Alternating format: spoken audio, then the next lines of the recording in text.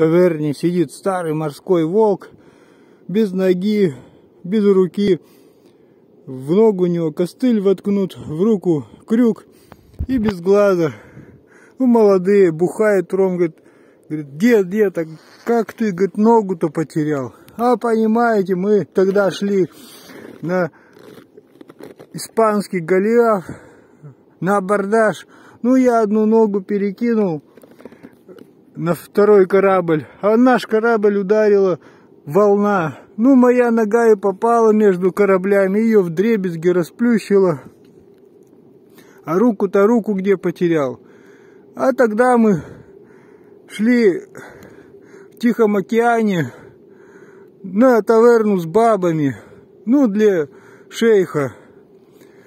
Ну, я такой, пока пацаны там режутся, я решил заглянуть на этих баб.